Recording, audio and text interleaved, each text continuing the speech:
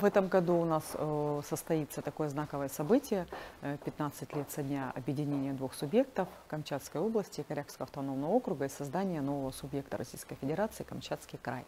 Вот. Ну, в этот период э, как раз-таки прозвучала очень интересная инициатива от жителей Коряки, которая была поддержана губернатором Камчатского края о присвоении имени э, знаменитого соотечественника Камчатского, ну, в Камчатском крае, который проживал, внес какой-то большой вклад в развитие социально-экономическое, в частности, Корякского округа, и о присвоении имени этого человека, который будет отобран по результатам конкурса, э, аэропорту поселка Палана.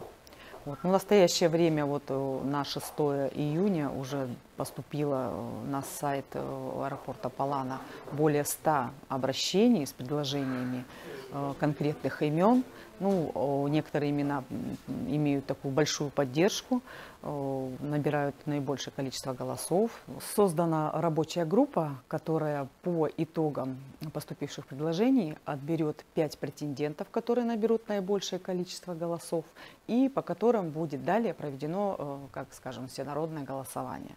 Всенародное голосование, и победитель будет уже определен именно этим голосованием, и этим именем этого человека, ну, знаменитого, э, известного, будет э, назван аэропорт поселка Палана. И, кстати, хотелось отметить, что из наименования аэропорта наименование населенного пункта никуда не денется, только будет добавлено именно имени которого человека оно названо.